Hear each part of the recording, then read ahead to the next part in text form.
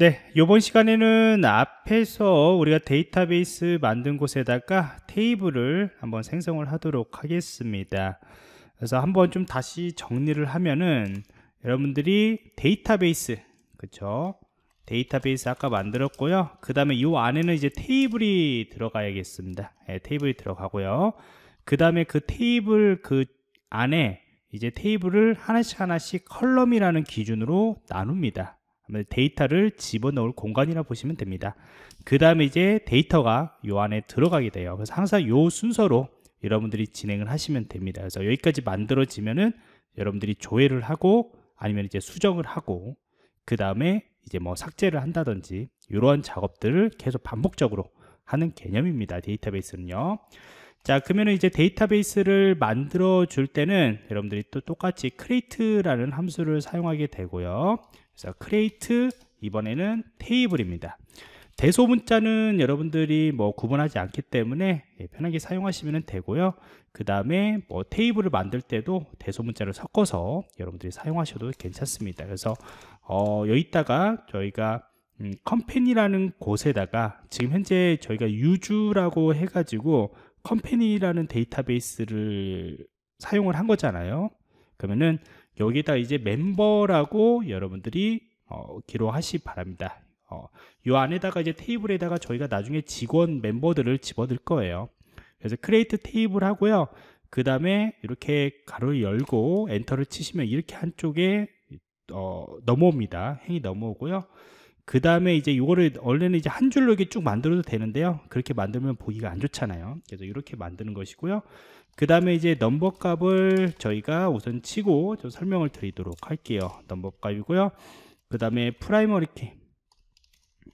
Primary 그 다음에 key라고 이렇게 설정을 하도록 할게요. 그 다음에 쉼표로 구분을 합니다. 엔터 치시면 넘어오죠 자, 요거는 이제 뭔 말이냐면은 우리가 넘버라는 이제 그 안에 테이블 안에다가 넘버라는 column을 하나 만들어 줄 건데 캐릭터가 이게 어 저희가 문자열이죠. 문자열 개념을 어 공간을 할당을 해주게 되는 것이고요.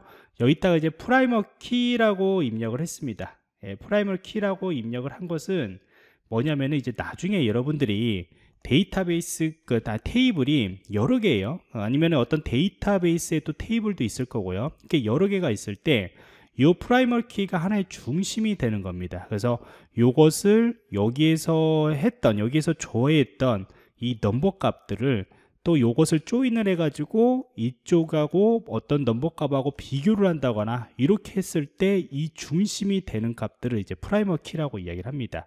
그래서 보통 테이블을 다른 곳하고 뭔가 연결을 해가지고 사용을 하고 싶다 뭔가 연관성을 주고 싶다. 그 말은 뭐냐면은 내가 요 넘버 값이라는 것에다가 요 정보가 이 사용자가 얼마나 매출을 발생을 시켰는지 아니면은 어떠한 그 업무들을 좀 공통 업무들을 했는가 뭐 이런 것들을 조인하고 싶으면 이 테이블 안에다가 다 컬럼들을 한쪽에다 다 넣을 수가 없어요 그러면은 여기는 이제 상품의 이름의 정보들이 어떤 정보들이 들어가게 되는 거고요. 상품.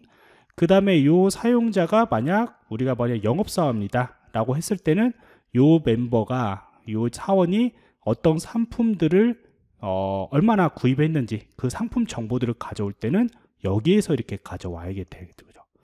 물론 이제 이 상품들을 다 여기다 뒤에다 넣으면은 되긴 되는데 굉장히 복잡해지죠. 그래서 테이블들을 이렇게 다 나누는 거죠.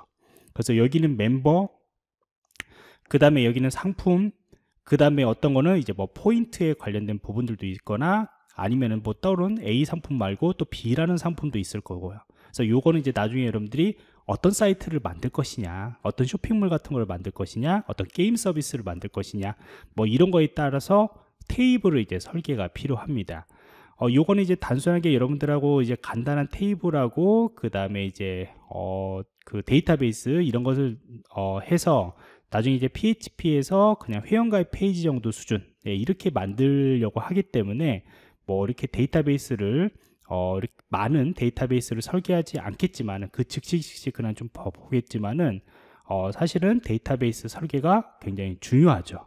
아, 그래서 웹 서비스를 개발을 할 때는 여러분들이 웹 서비스 기획자가 있는 것이고 또 데이터베이스 설계할 때도 그 설계자가 그 기획자가 작성한 것을 보고 이제 데이터베이스를 또 설계하면서 서로 만들어고 간 다음에 이제 실제 만드는 겁니다. 코딩을 하는 거예요.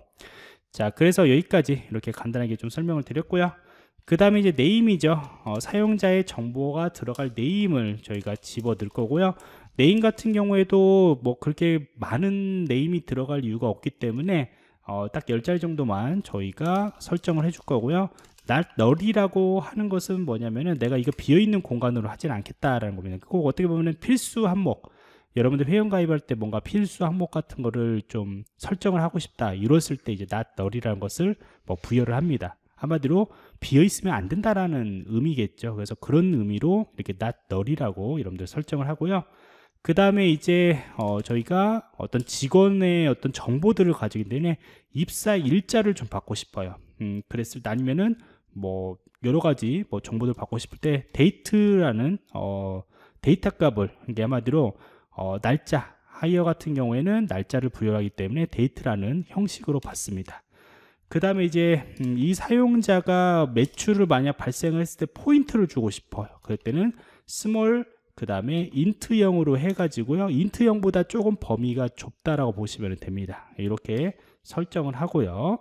그 다음에 이제 어, 요거가 어떤 사용자의 그런 지사 개념 저희가 보통 이제 판매형 같은 경우에는 뭐 서울 지역도 있을 거고 그 다음에 저기 인천 지역도 있을 거고 여러 지역들이 있을 거란 말이죠 그랬을 때 branch라고 이렇게 이름을 하고 그 캐릭터형은 예, 10 정도로 주고 캐릭터 문자를 10 정도 주고 이렇게 설정을 하도록 하겠습니다 그 다음에 다 여러분들이 어, 만약 다 설계를 했다 라고 한다면은 뒤에다가 세미콜론에서 마무리를 하시면 됩니다. 어, 잠시만요. 예. 이게 primary key가 underbar가 안 들어가는데 제가 모르고 넣습니다. 자, 그래서 오류가 이렇게 발생을 하면요. 여러분들 다시 치지 마시고요. 이렇게 마우스를 마우스를 그 키보드를 위쪽으로 하시면요. 키보드를 위쪽으로 하시면 여러분들이 썼던 것들이 나옵니다. 그래서 이렇게 위쪽으로 선택하셔 가지고 여러분들이 썼던 것을 다시 처음부터 이렇게 하나씩 하나씩 여러분들이 지정을 해 주시면 돼요. 그래서 create table member 그 다음에 어... 이렇게 primary key가 하나가 안 들어가죠. 이렇게 underbar를 제거를 해 주시기 바랍니다. 그 다음에 네이밍 했고 어, name이죠. 넘버값 그 다음에 name값 네, name값 이렇게 집어넣고요. 물론 이런 것들이 많아지면은 안 되기 때문에 나중에는 요 그 query문들을 별도로 저장을 해요. 저장을 해가지고 불러오기만 하면 되거든요. 그래서 하나씩 하나씩 이렇게 좀 하도록 할게요. 이런 오류가 좀 많이 발생을 합니다. 아, 잘못 작성해서요. 그래서 그것도 보여줄 겸 예, 같이 그냥 편집 없이 그냥 진행을 하도록 할게요. 자, 그 다음에 이제 포인트죠. 포인트, 포인트 어디였냐? 예. 포인트 그 다음에 branch. 예, branch underbar. 그 키보드를 아래쪽으로 내리면 다음 다음 다음 것이 차례대로 거의 나타날 겁니다. 자 그 다음에 이렇게 해주시면은 이제 테이블이 만들어졌습니다. 그렇게 어렵지 않죠? 이 테이블에다가 이제 여러분들이 웹 서비스에서 개발한 페이지에서 이 테이블에다 넣을 거예요. 그래서 여기다가 우선은 여러분들이 MySQL만 익히고 난 뒤에 바로 진행을 할 거고요.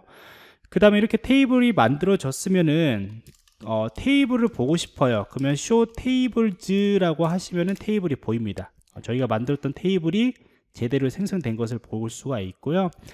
그 다음에 이제 제대로 만들었는지 좀 봐야겠죠 또요. 그랬을 때는 show tables가 아니고 요 안에 있는 정보들을 봐야잖아요. 그러니까 이 컬럼 정보들이 제대로 만들었는지. 그랬을 때는 DSC라는 명령어 있습니다. 이거는 describe 이게 어떤 것을 표현을 해라. 내가 표현을 해주는 것들이죠. 그래서 테이블, describe tables라고 하면 이렇게 DESC tables라고 하시면 됩니다. 음, DSC tables가 아니군요. 자, DSC 멤버죠. 어, 멤버죠. 그래서 DSC 멤버로 하시면은 테이블의 정보들을 볼 수가 있어요. 그래서 테이블의 그 컬럼 정보들이 어떻게 설정이 되어 있는가 이렇게 여러분들이 확인할 수가 있습니다. 그래서 이거 보시면 이제 어 우리가 널값이 예, 노로 되어 있는 부분들도 있고 S로 되어 있는 부분들도 있죠. 예, 되어 있죠. 자, 그래서 여러분들이 이렇게 어, 테이블들을 만드는 것을 어, 배웠습니다. 그래서 여기까지 테이블 생성까지만 어, 이번 시간에 좀 다루도록 할 거고요. 다음 시간에는 저희가 그러면 이제 뭔가 테이블들을 좀 이렇게 변경을 하고 싶다거나 뭔가 추가를 하고 싶거나 그럴 수 있잖아요. 그랬을 때 그렇게 어떻게 하는지 어, 좀 살펴보도록 할게요.